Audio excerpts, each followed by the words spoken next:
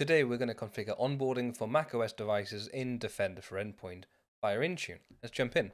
Really, we can't do anything until we've got the onboarding package for our devices. So we're going to head to the security portal, security.microsoft.com at Microsoft 365 Defender. I'm going to scroll down in this list until we get to settings.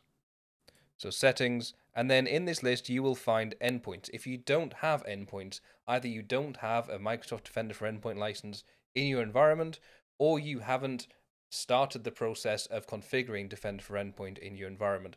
So please check out your licenses to see if you have Defender for Endpoint licenses. If you have, it's really a case of going up in this list actually and finding endpoints, choose endpoints, and then there'll be a button to start that process of onboarding your tenant into Defender for Endpoint. Let's assume you've already got there. We'll get back to settings and endpoints, choose endpoints, and scroll all the way down to onboarding. So we've got onboarding and offboarding. Obviously, I'm going to be doing onboarding first, and we're going to choose macOS right here. Now, it says that we've got a couple of options for onboarding. We have local script for up to 10 devices or mobile device management. I'm going to go with MDM. And we need to grab this onboarding package. So let's choose onboarding package and it will download for us. It's the uh, Defender ATP onboarding package. You can see I've done this a couple of times before just to prepare for this video. You'd hate me if I hadn't prepared. So let's take a look at what is inside this package then. So in this package, we have two folders, one called Intune, one called Jamf.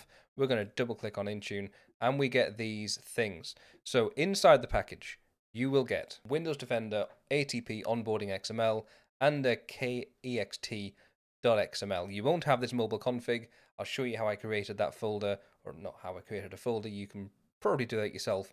What I put in this folder and why there's a folder there in just a few moments. But for now, let's assume we're going to take a look at this Windows Defender ATP onboarding folder. So bring over this window for you to see, and you can see what we've got is a very basic XML here containing some information which will allow us to onboard our device to Defender for Endpoint. That's what you get. You don't need to edit this if you don't want to. Take a look at the docs. I'll link them down below so you can see what things can be edited to make changes. For me, I don't need to make any changes. This will onboard my device exactly as I want it to. So, from here, we can see that we've got an additional few files that I've created here. We've got, uh, I spelled that wrong, haven't I?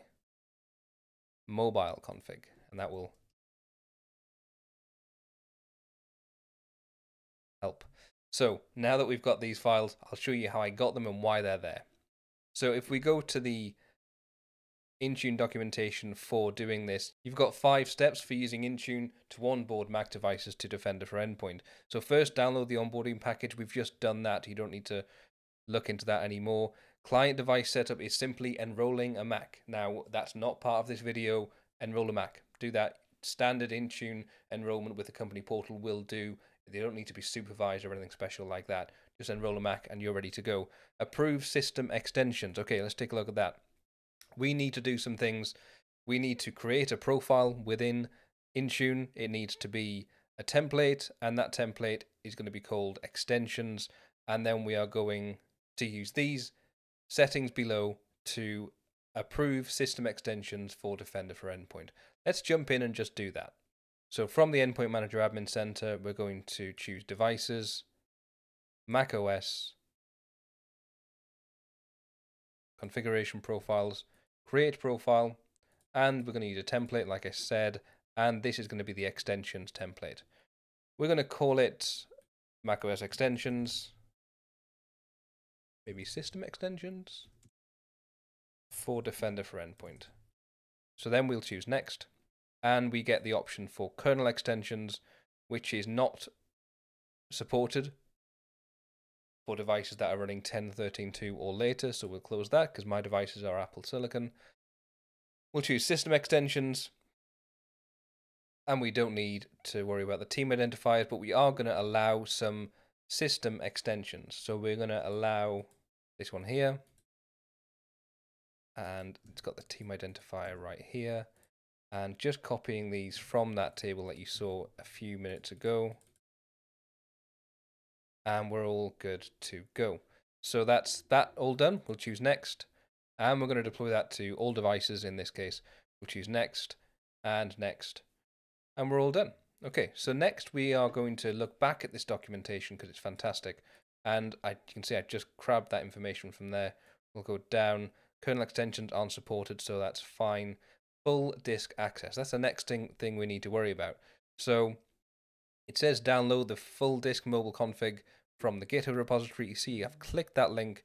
So that link takes you to this website here with the full disk access here. I've put that into Visual Studio Code just here and called it mobile full disk mobile config and that is it. That will simply do the things we need it to do.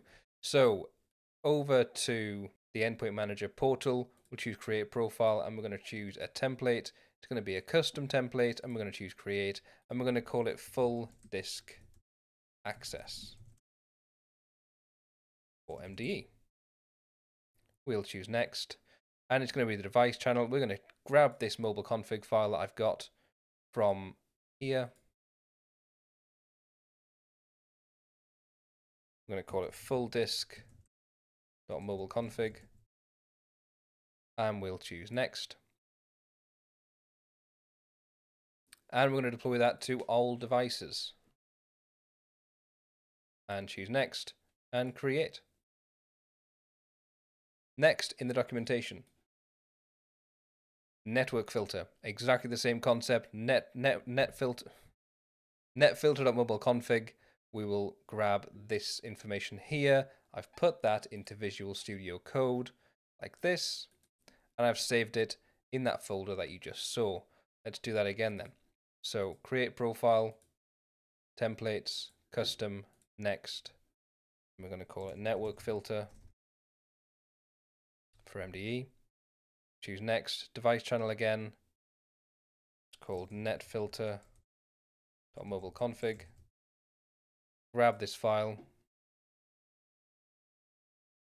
Choose next, all devices and next and create. Next in the list, I'll speed this up a little bit for you. This is notifications mobile config. So we'll grab that one. choose next, notif.mobileconfig, grab that file and choose next and all devices and next, create. Final one to do is this final one up here, which is called background services configuration profile. So it's called background services.mobileconfig. I'll just grab that, speed this up a little bit to custom template, choose create, background services for MDE. Next, that's the name right there. Give it the config file, choose next, all devices, next, create. Okay, we're all done with that. Let's jump back to the documentation. Scroll right to the top to get this list right here. Publish application. And this is super simple. We don't need documentation for this. So we'll jump back to the console. It's not a device config profile. We're actually deploying an app now. We're going to choose Mac OS. We're going to choose Mac OS and we're going to add. And in this list, we will find Defender for Endpoint. So we have Mac OS here. We'll choose select. And this is the app that's pretty much ready to go. It's simply a case of choosing next adding all devices and choosing next. And then that's pretty much it. We just need to go create. So I'm just going to let all of that happen on my Mac and I'll come back in another video and take a look at what is the user experience on this. If you've liked this video, please hit like and subscribe, support this channel. See you next time.